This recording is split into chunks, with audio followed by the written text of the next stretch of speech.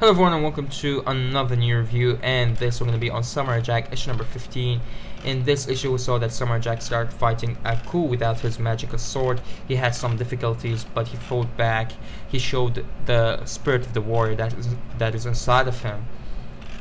But later on we saw that Aku was really close to kill him but that's the moment where we saw the sword appeared uh, out of the body of, uh, of Samurai Jack and he kind of protected himself with a magical sword. The magical sword created itself out of the warrior who's Samurai Jack and that's where he kind of uh, was way too close to defeat Aku but again Aku kind of uh, got away and that's where the issue ends. It was a pretty good issue. I like the way the uh, sword was created. It was created from within Samurai Jack, from his inner power and his, you know, uh, motivation.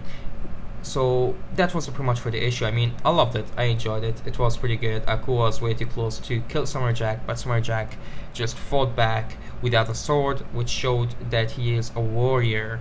Uh, with without a sword or with a sword, you know. And in the end, we saw how the creation of the sword came. So uh, pretty much of that. Uh, great art, great writing as usual. Can't wait to see what's gonna happen next. Thank you guys for watching. Let me know what you down below. Hit the like button for more Samurai Jack reviews and see you guys around. Take care.